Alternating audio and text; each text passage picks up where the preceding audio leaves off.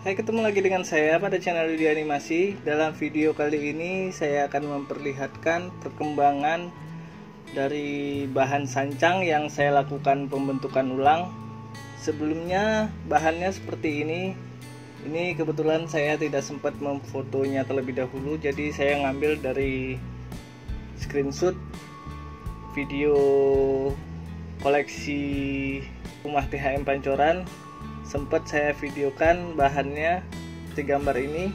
Dan lalu saya bentuk ulang saya potong semua saya berdirikan pohonnya seperti foto berikut ini.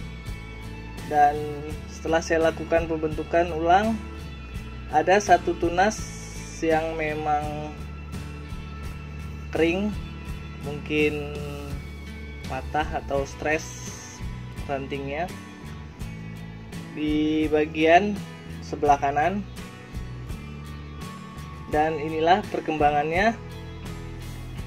Setelah mulai tumbuh tunas subur ini di bagian sebelah kanan yang di foto tadi kering dan sudah muncul tunas baru. Ini akan saya liarkan untuk mengganti cabang di bagian ini. Nanti akan saya arahkan. Dan ini tumbuh tunas baru sudah saya liarkan dan ini baru saja saya tekuk. Saya selalu lebih suka menekuk dari batang masih kecil. Ini batangnya masih hijau.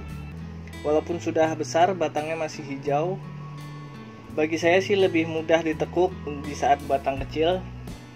Jadi bisa menggunakan kawat kecil. Dan memang resiko patah juga di batang kecil apalagi batang hijau itu lebih besar. Inilah perkembangan bahan sancang yang saya lakukan pembentukan ulang. Ini mungkin masih butuh proses sekitar lumayan lama untuk sekedar hiasan rumah.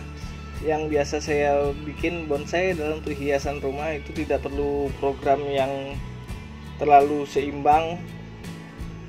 Dan ini juga tidak ada akar yang tampil karena akar ini hasil cangkokan jadi akarnya masih akar serabut.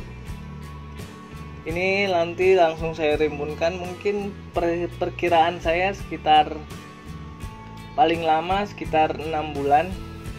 Ini sudah lumayan enak untuk dipajang. Inilah pembentukan ulang bahan bonsai sancang koleksi channel Yudi Animasi. Terima kasih telah menonton channel Yudi Animasi. Jangan lupa like, comment, and subscribe untuk membantu channel ini.